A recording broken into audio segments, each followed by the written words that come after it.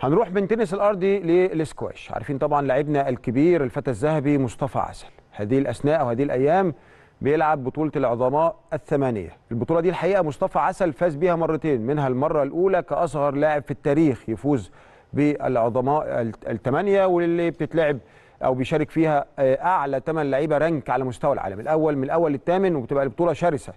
فما فيش ماتش فيها سهل. الجميل في البطولة دي إن هي بتبقى best of 3 يعني تكسب 2 1 3 أو أو 3 يعني 2 1 أو 2 0 يعني ما بتوصلش لثلاث أشواط فالحقيقة بتبقى المباراة هادية. ما عدا الأدوار النهائية الأدوار النهائية بتروح على best of 5 يعني أقصد أقول إن من قوة البطولة ما بيجهدوش اللعيبة أنت كل يوم تقريبا بتلعب مباراة. مصطفى عسل استطاع إنه يفوز في المباراة الأولى وكانت يعني بنتيجة 2-0 على الفرنسي فيكتور كراون. آه هيلعب إن شاء الله آه النهارده مع البيروفي ديجو إلياس أحد أفضل اللعيبة في العالم. وديجو إلياس تقريبا عامل يعني آه contract مع مصطفى عسل كل ما يروح بطولة يلاقيه كل ما يروح بطولة يلعبه. فالحقيقة يعني مش غريب إن يبقى المباراة يعني مصطفى عسل مع ديجو إلياس تتكرر يمكن كلاكيت 8 أو 9 مرة هذا الموسم. وفي حالة فوزه إن شاء الله يضمن إنه يتأهل للدور قبل النهائي بصرف النظر عن المباراة المتبقية ليه مع مازن هشام يوم الجمعة يوم الجمعة اللي جاية. بطل نادي وادي دجلة. بالمناسبة مصطفى عسل بكرة هيكون راح. المباراة مش سهلة أو سوري البطولة مش سهلة وأيضا طبعا المباريات كمان مش سهلة بالطبع ولكن البطولة بتتلعب في مصر.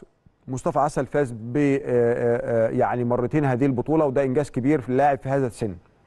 وكانت مفاجأة إنه فاز فيها في عمر 19 سنة. أول بطولة يفوزها بالمناسبة كانت في مصر وكانت بتتلعب في 6 أكتوبر برضه. فما شاء الله وكانت يعني في أحد المولات الشهيرة الملعب.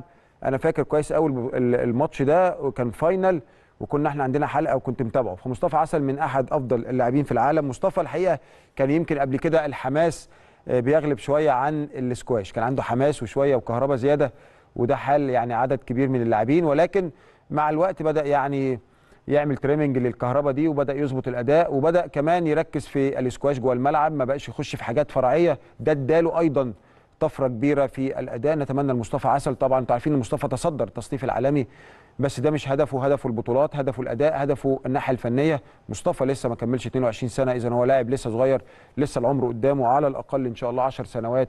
يعني ربنا يحفظه من الإصابة يعني. وليه أخ اسمه مروان الحقيقة برده جامد جدا. مروان عسل وكنا عملنا حلقة مع مصطفى ومروان لو تفتكروا.